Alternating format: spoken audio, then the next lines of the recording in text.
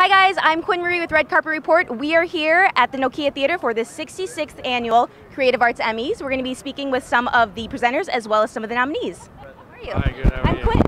Shane, Nice to meet you.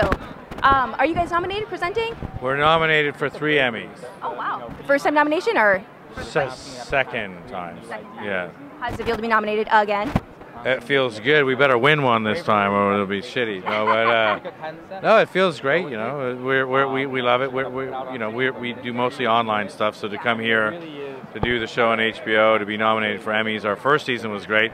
To be nominated second season is even better.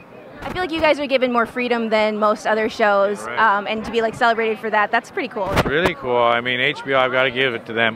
They let us do whatever the fuck we want to do. Awesome. including swear.